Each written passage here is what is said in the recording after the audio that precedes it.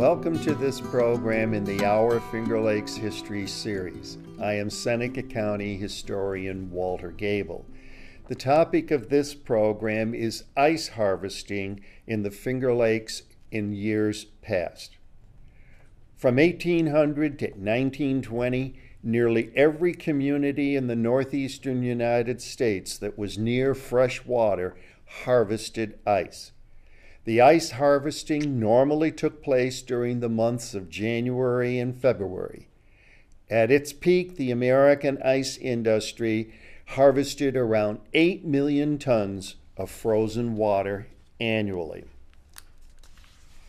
This harvesting of ice was very important because people relied on ice boxes and home delivered ice for domestic refrigerators. The first practical household refrigerator was sold in 1915, but refrigerators as we take them for granted today did not become popular until the 1930s. Where did people in the large cities like New York City, Boston, and Philadelphia get their ice in the later 1800s and early 1900s?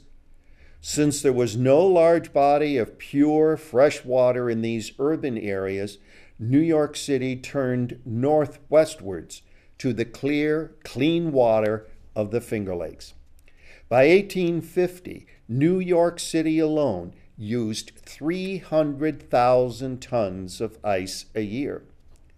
In, in 1880, the cities of the United States had a per capita consumption of ice of about two thirds of a ton of ice. By 1900, ice was as essential in summer as coal was in winter. Ice was harvested in the Finger Lakes right up until the late 1930s. At the height in 1886, more than 2 million tons of ice was harvested. It would take scores of men and horses and scores of boats and railroad cars to get the ice harvested and get it to the major cities. In 1907, about 15,000 tons of ice were cut from Cayuga Lake and shipped to New York City by railroad freight cars. As for expense to the household family, 25 pounds of a block of ice delivered four times a week to a household cost about $2 a month. As Americans wanted more for their tables than dried and salted meats, ice became an important commodity in this country. Ice was very important to the meat packers in the West. Ice was also important for shipping milk and fruits from the Finger Lakes to the New York City metropolitan areas. Before there were refrigerated railroad cars as we know them today, Ice was packed around the perishable items placed in railroad cars. The Romulus train station was 335 miles from the Lehigh Railroad's Jersey City terminal for the expanding New York City metropolitan market. And that Romulus was just about the furthest distance from the New York City metropolitan area that milk could be shipped overnight without spoiling. In 1895, a total of 172,726 cans of milk were shipped out of the Romulus train station, packed with ice. They were transported in specially built refrigerated cars that carried the milk in 40 quart cans or in 12 one quart glass bottles, packed in a wooden case, which was then packed in ice. In addition to milk, other agricultural products were shipped from Seneca County on these daily milk trains. The products included butter, cream, cheese, eggs, potatoes, apples, and other fruits, onions, and dressed meat. What I've said for Romulus was also true for many railroad shipping points in the Finger Lakes. Now, why were they making use of ice from the Finger Lakes and other parts of upstate New York? The ice of upstate New York was highly praised because it was usually cleaner, harder, and slower to melt. In a January 13, 1868 diary entry, Edward Morgan of Aurora on Cayuga Lake reported that the ice on Paines Creek was so clear that one could read a letter through the two and a half foot thickness of the ice. To meet the ever increasing demand for ice, har- harvesting of ice was done on ponds, rivers, as well as the Finger Lakes themselves. The tools used for ice harvesting changed over time. Initially, there were just some simple hand tools, such as what are shown here in these two visuals. Starting with this slide, I'm going to go through the steps in ice harvesting. Of course, before even the first step could take place, we have to have the ice thick enough to merit being harvested, as well as thick enough to support the horses and the men that would be doing the ice harvesting on the frozen surface. This usually meant that the ice had to be at least 12 inches thick, and that usually didn't happen until sometime in January.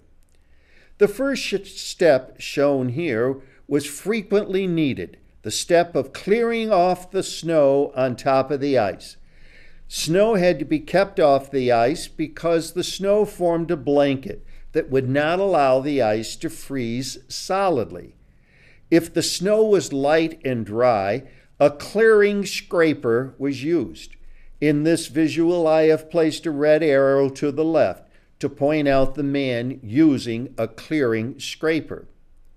The scraper consisted of boards assembled in such a way as to provide a flat bottom and an angled back that slanted away from the bottom. It was usually eight feet wide and pulled by a horse.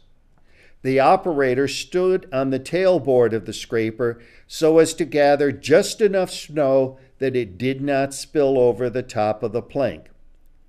Heavier, wetter snow was mean, removed by means of a scoop scraper, shown at bottom right.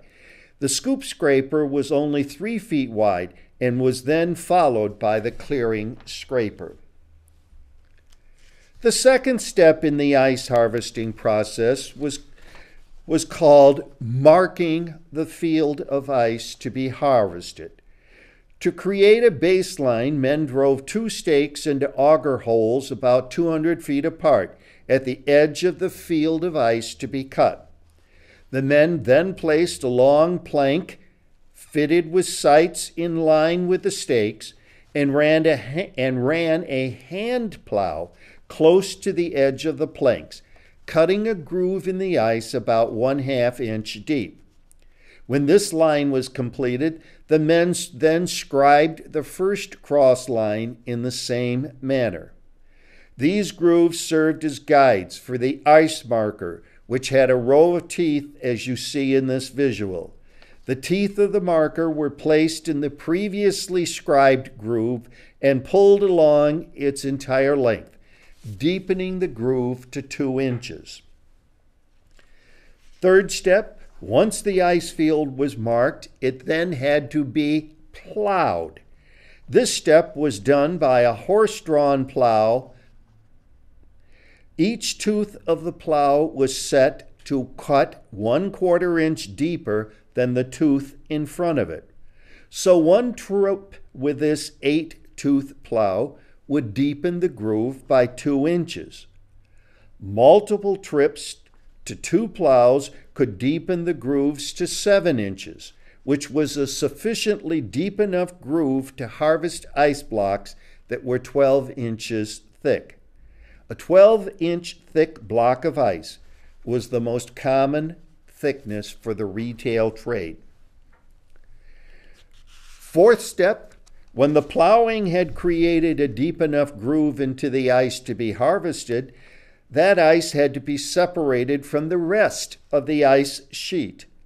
A common way to accomplish this was to use a saw like what is shown in this visual. The person would place the saw blade into the grooves marked into the ice section and saw down so that the ice section was completely separated from the rest of the ice. The next step was to get the ice being harvested floated to the shoreline where it would be brought up out of the water.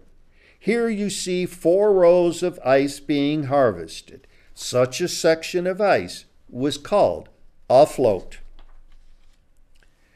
In this visual, you see several teams of workers preparing sections of ice floats. Once these floats got to the shoreline, each float could be cut up into several blocks of ice, which then could be loaded up and placed in the ice houses. This is a scene of using horses to haul ice on Seneca Lake in 1912.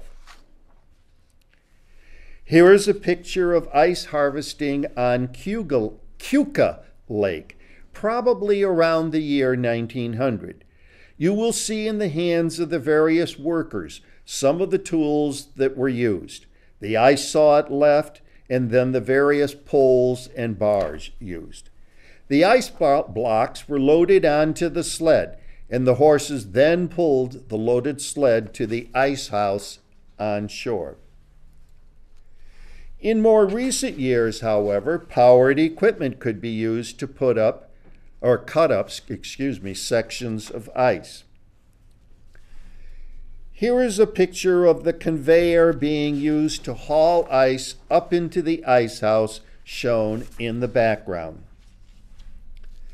This is another picture of ice being hauled up a more simple conveyor into the ice house.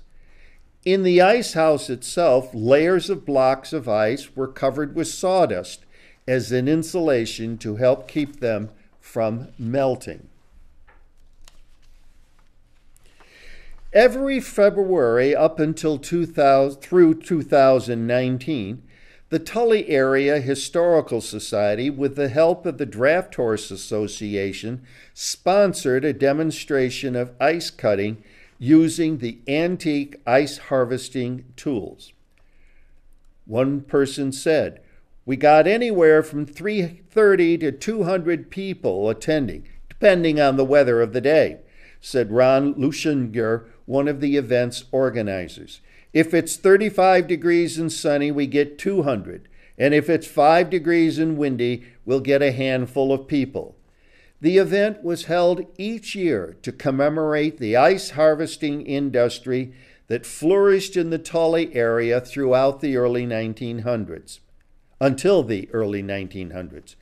People harvested ice from the surrounding lakes, stored it in ice houses, and then shipped it by railroad to New York City and beyond. Tully was a prime spot for ice harvesting because it had so many lakes and ponds and was a railroad town. Unfortunately, there will not be an ice harvesting festival this year of, 19, of 2020 in Tully. Until well into the 1920s, ice houses were a common feature in communities. Ice houses varied in size, but the typical ice house had a plank floor and double walls. Sawdust was used for insulation. The best ice houses had a shrinkage from 10 to 30 percent between cutting and delivery of the ice, depending on its circumstances such as insulation, humidity, moisture, and drainage. Families typically had their own ice house. Ice house. A family ice house was typically wooden and about 10 by 10 feet. In the family ice house shown in this visual, you note, will note that the lower portion was used as a cool storage area for cans of milk and even some meat. Many communities in the Finger Lakes had ice house companies. Sodus, for example, had four different ice companies.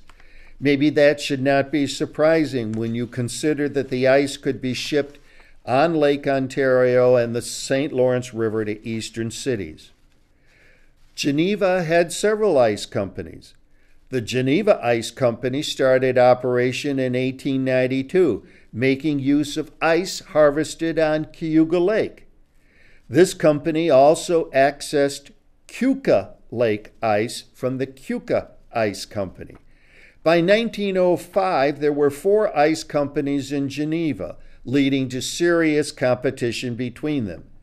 The independent ice company served Geneva from 1905 to 1935. Shown in the picture is the Charles Brady's Filtered City Water Ice Company, which operated in Geneva from 1921 to 1949.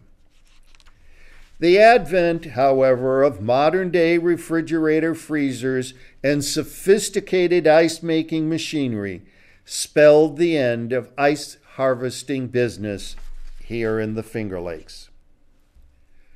We are left with fond memories of scenes like what is shown above. I want to acknowledge the Sodus Point Historical Society and the Finger Lakes Times for use of much of the information and visuals in this program. I have, hope you have enjoyed this program on ice harvesting, which is part of our Finger Lakes history.